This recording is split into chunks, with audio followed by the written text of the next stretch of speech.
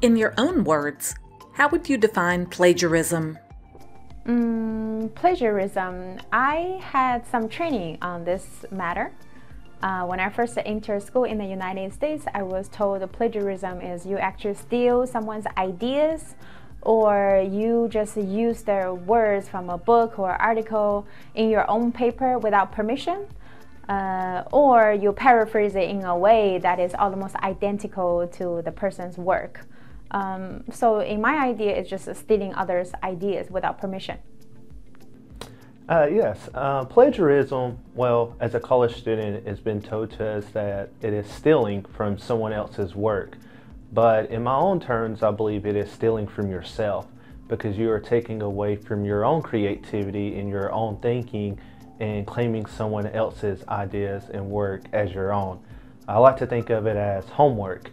You wouldn't steal someone's homework and then turn it in and claim it as your own but you would prefer to turn in your own homework and with your own ideas and with your own thoughts. Why is it valuable for students to do their own work? Uh, yes, I believe that it's uh, valuable for students to do their own work because once again, college um, experience is about you know ideas and creativity and learning to form an opinion for yourself and allowing you to become an educated person. Um, that's why you're in college is to learn and to gain new knowledge and theories and ideas. And why do you think it's important for students to do their own work?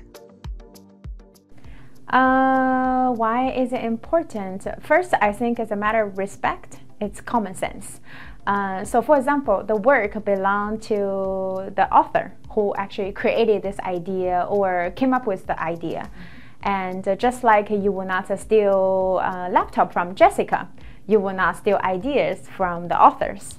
And uh, so I think that's common sense um, to be a good human being. And second, I think uh, it's important because uh, we're in college, it's because we are here to learn.